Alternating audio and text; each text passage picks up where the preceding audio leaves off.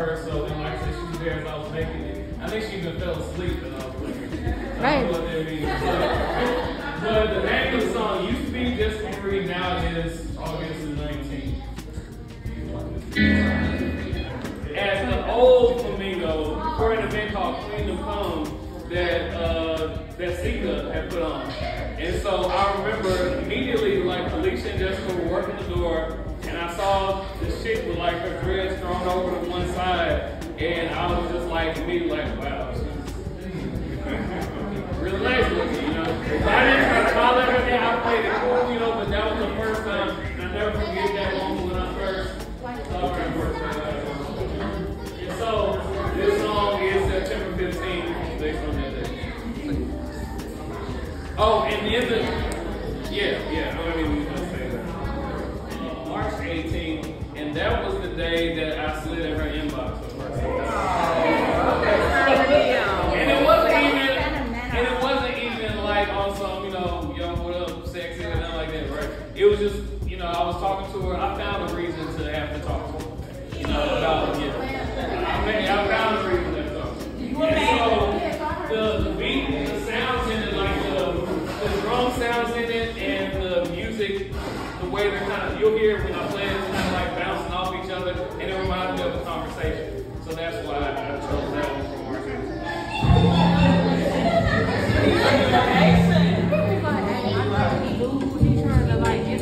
They kind of bounce off each other. And I was like, family around the. I had a performance at Juneteenth on Farish in 2019. And um, after the show, and she came with one of her cousins and her cousin's friend. And uh, afterwards, actually, I remember uh, walking Tempest to her car, and I, I asked Jessica after the show if she wanted to go get drinks. And uh, she was like, sure, she obliged. And so I told Tempest, I was like, I'm so excited because we're about to have our first date. Oh. So we went to get uh, drinks at, you know, at the at the Westin downtown. There's a bistro called Estelle, and that's where we had our, our first date. And we just talked until until they closed down, like for hours. And so, and I also thought it was awesome that our first date was on Juneteenth. So this is that song. And so because of that, the music sounds real like sexy to me and romantic. And so I'm like, yeah, that's Part one.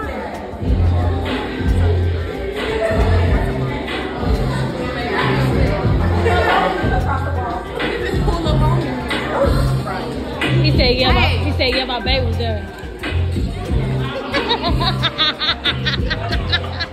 Alright, so that was uh, June 19th, part one. There's another June 19th. Um, the, and I remember when we had our first day and first started talking, we both said, okay, look, I got out of something not too, too long ago, and we want to take things slow, you know, and not rush into anything. We dated some more within, uh, I was in Barbados.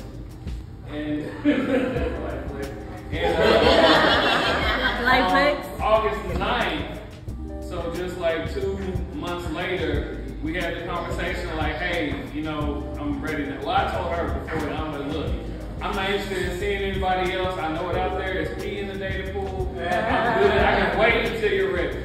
And so uh, August 9th was the day that we officially became a couple. And so, August, so August 9th,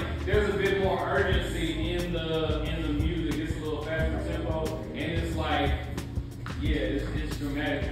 So this is August 9th, 2019. This sweet.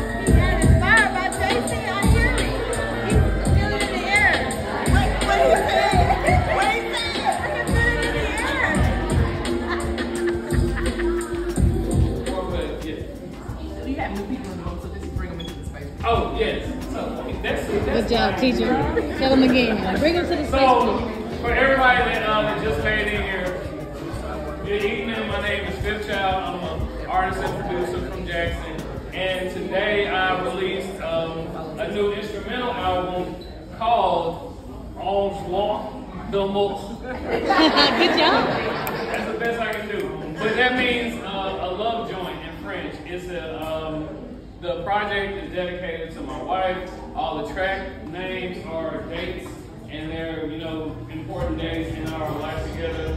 And um, so each one, there's like the the music is supposed to tell the story and captures the emotion from that particular day. And so we're about halfway through it right now. Uh, we just finished August 9th, which August 9th, 2019, which was the day we officially became a couple. The next song, like I said, we didn't plan move fast, but when you know, you know.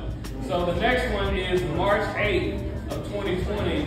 And that was the day where we were in Chicago on a, uh, we were taking a road trip. And I, she loves pineapples. Uh, Jamie has on one of her shirts for business, there's a pineapple on there, right? She loves pineapple. And so I found a pineapple hotel in Chicago, like a pineapple themed hotel. And so we went there on vacation because I knew that was a place that I wanted to propose to her. And so that's what this next song, uh, March 8th, is um, capturing. The day of our proposal. And the song is saying, I don't want to be alone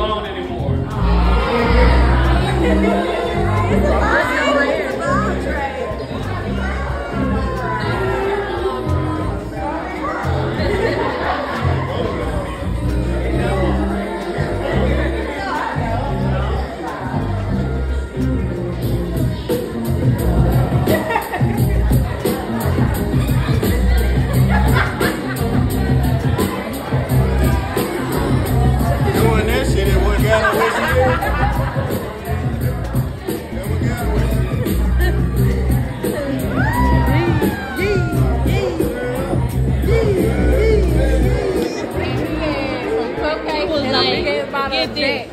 And I said, what the fuck? The cupcake and whatnot. Some cupcakes with a big bottle of Jack. Babe, He know what you like. babe. She trying to tell you.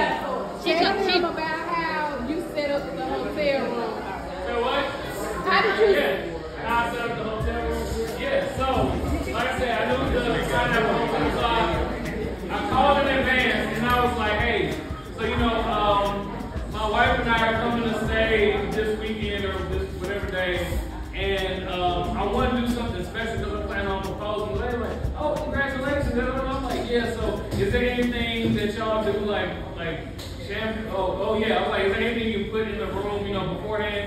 oh, you mean like champagne and roses and stuff like that? I'm like, uh, my wife is more kind of like uh, Jack Daniels and chicken wings. I got you. Don't even worry about it. I'll have a bottle of Jack in there. So we got up there. They have a bottle of Jack, a huge bottle of Jack in there for which is actually on the album. No, so that's from a different trip. But yeah, there was a bottle of Jack in there and uh, and some cupcakes around the corner. So shout out to Pineapple. So next song we have Barry.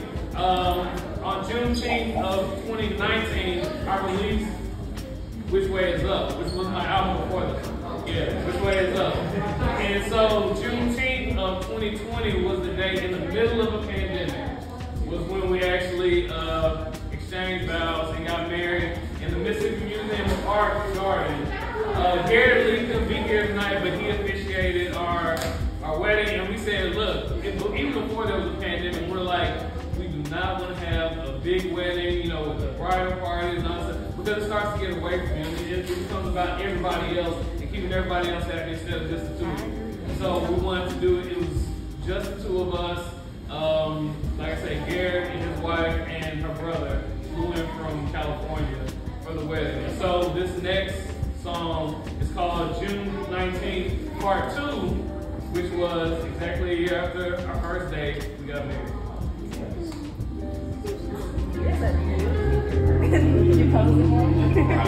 Well,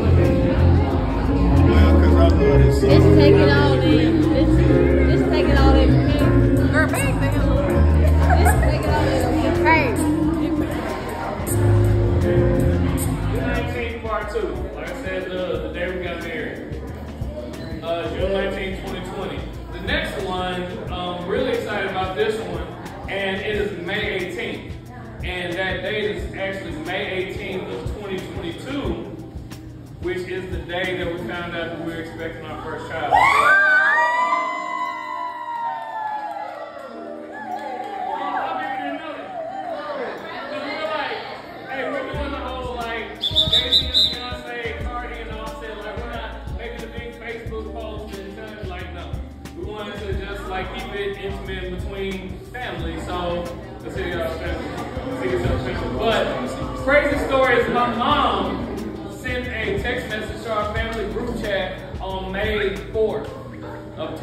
2022. Like, hey, look, I'm just telling you, I had a dream last night. Somebody had a, had a, a brilliant, fabulous baby girl, and she was wonderful and awesome. I'm not gonna say who. And so Jessica was like, Mimi, you need to go back to sleep. Okay, that was May 4th. Two weeks later, we had the pregnancy test showing that we were expecting our first child. So that's what this song. And so when I hear this song, the, the music, like I say, you have to listen to it, but to me, it sounds like a seed sprout. I can't, I don't know any other way to explain it, but when you hear it, this is it.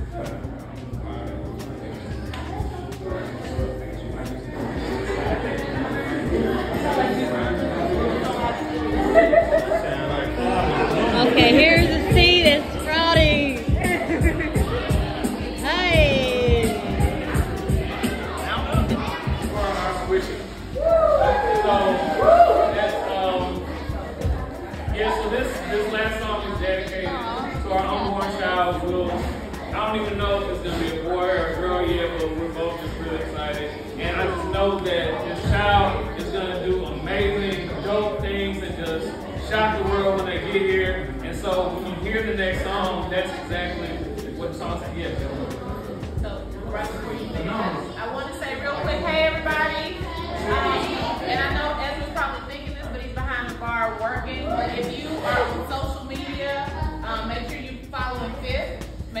Make sure you follow Soulé. You're checking in on Facebook. Um, this is a soft opening, but we want more and more people to know about it. Um, we have lots of events coming up, um, including some of the art that you see on the wall. We have the artists in the room. We'll have some events and programming around that. Justin Hartman is in the building.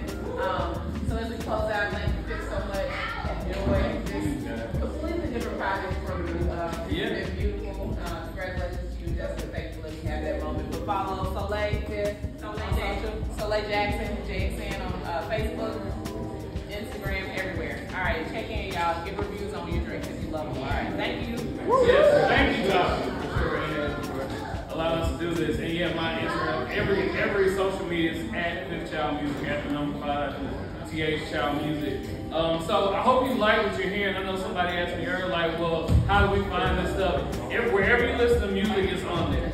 So if it's iTunes, Spotify, Apple Music, Tidal, it's on all that stuff. Or you can buy it on my Bandcamp page, fifthchildmusic.bandcamp.com.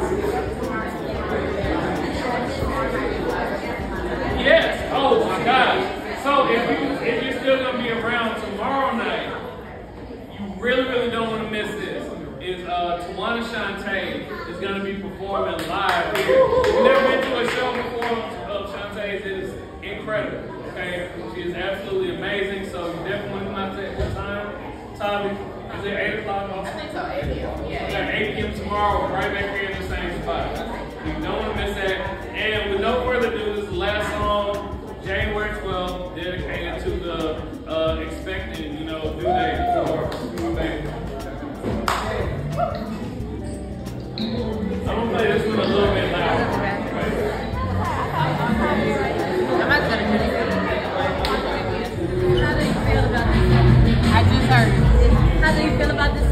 I just heard it. I, I can't hear you.